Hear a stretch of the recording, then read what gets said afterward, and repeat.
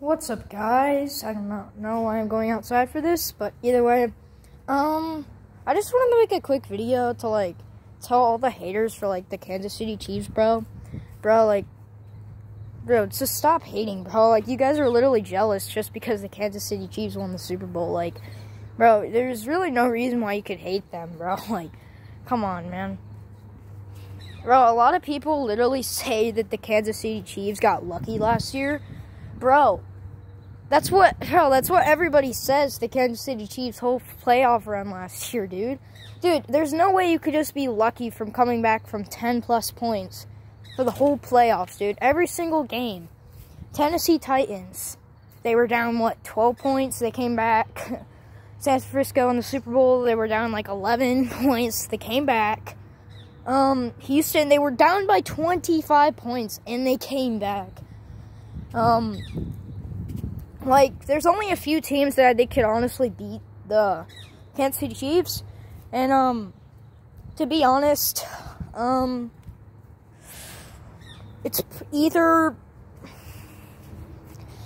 to be honest, it's either to be the Baltimore Ravens or, um, I think, dude, I just think if, um, the Seahawks had a few more, like, like, better defense or something, um, I just don't watch the Seahawks a lot. I don't really know what they have, but either way, like I just I think I've seen them a little bit, and I just feel like if they had a few better players on their team, they could be like Super Bowl contenders pretty much every year if they wanted to.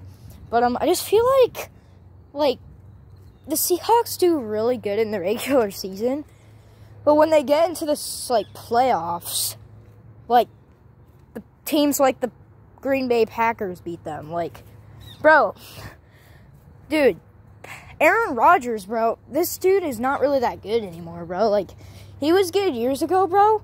But what a lot of people don't get is that he chokes in the playoffs. Like, bro, these quarterbacks now, like Patrick Mahomes, Russell Wilson, even, like,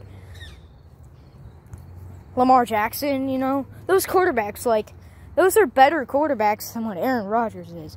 You know, the people who I say the people, why the people say Aaron Rodgers is so good is because he was one of like the best throwers, I guess. He had like one of the most powerful throws or whatever.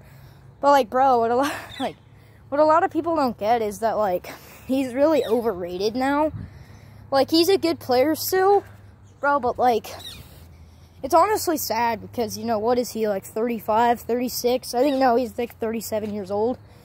Bro, and uh, he's he's out of his prime already. But if you look at people like Tom Brady that are you know plus 40 years old, bro, they're still doing what they're doing. Then you know that's why people can't really hate on Tom Brady, bro. The dude's consistent. He's been consistent for 20 years. Um, ever since he came in the league, it's Super Bowls, dude. All he does is win. So um, yeah. No, he would have what eight Super Bowls if he didn't like get robbed from the Giants with the lucky catches. So either way. Um, yeah, I don't know why I started talking about the Seahawks.